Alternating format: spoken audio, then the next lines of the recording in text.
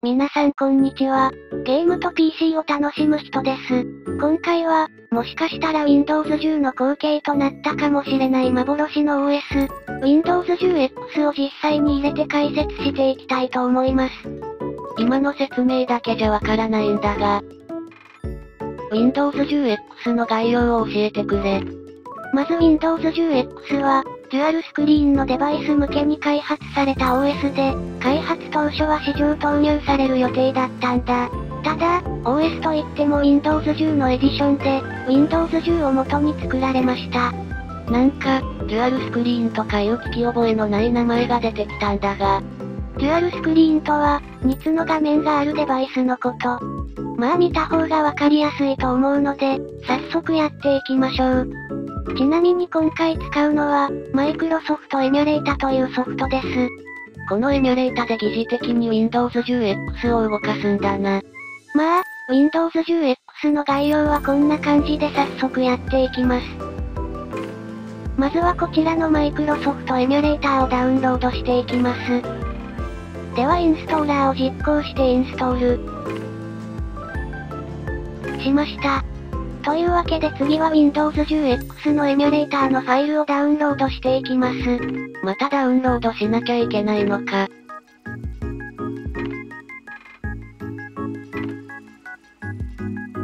てなわけでインストールが終わりました。それでは Windows 10X を起動していきます。このスタート。ボタンを押せば開始できるはず。あれ、なかなか起動しないな。あ、なんか別ウィンドウで開いてる。ん？エラー入ってる。ちなみにエラーの内容は、エミュレータを実行する権限がありません。らしいのだ。ただ奥主はよくわからず閉じたのだ。え、どうしよう。ちなみにここから開けるようになるまで1時間くらいくらいかかったので、カットします。さっき動画外でやったら普通に起動しそうだったのでもう一度起動し直します。お、これは来た。と思ったら急にブルスク。まあさっき起動画面で強制終了したのが原因だな。まあ一回再インストールし直すか。というわけでグダグダですが本日2度目のインストール画面です。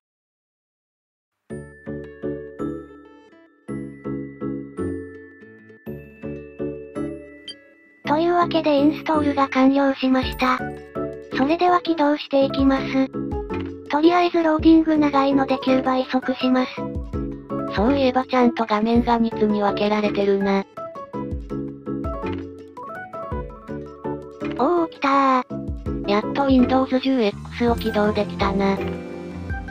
あ、そういえば先に言っておくとこの OS は開発段階のものなので使えない機能もたくさんあります。それじゃあいじっていきますか。タスクバーに仮想ディスプレイみたいなのがあったな。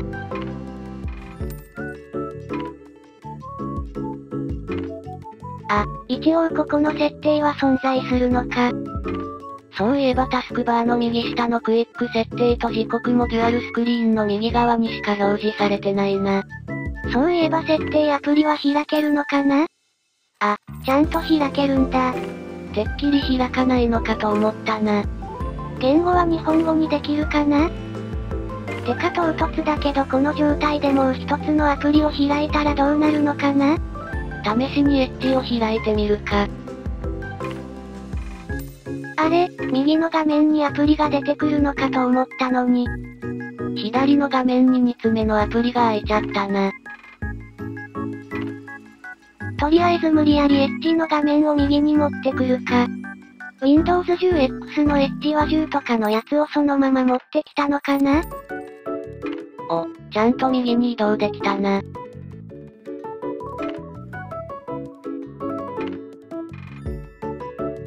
それじゃ、言語設定を日本語にできるか試してみるか。でも、開発段階のやつだから変更できないような。まあ、一応試してみよう。あれ、言語パックは一応表示されてるみたいだな。じゃあ日本語にしてみやすくするか。まあ、インストール時にエラーが発生しそうだけど。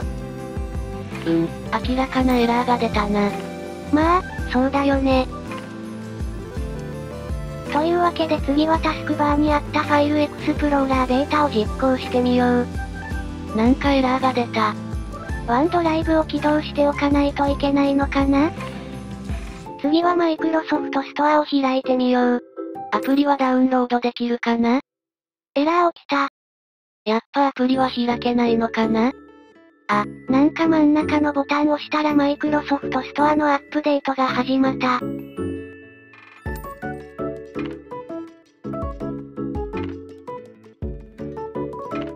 30秒くらい待ったけど全然アップデートできないしエラー発生する。マイクロソフトストアは無理そうだな。そういえばマイクロソフトアカウントで Windows 10X にログインしたらどうなるんだろう？ログインはできても何もできなさそう。多分ログインってこのボタンだよね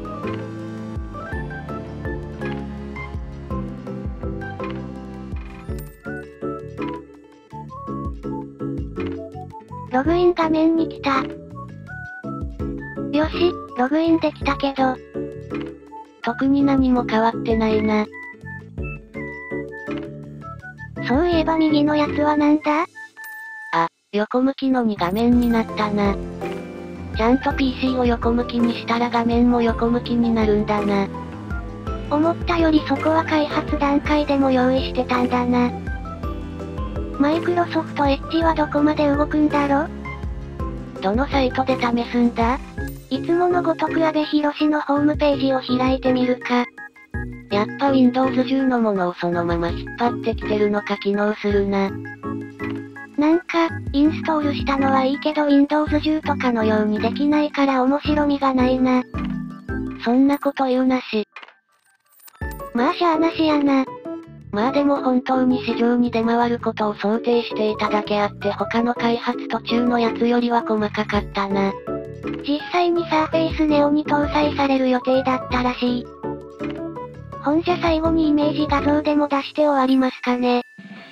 市場に出回ることを想定していたのがこちら。え？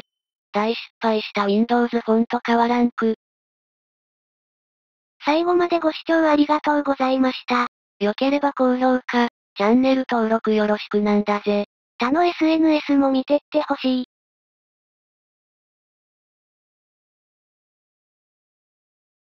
それじゃあ、バイバイ。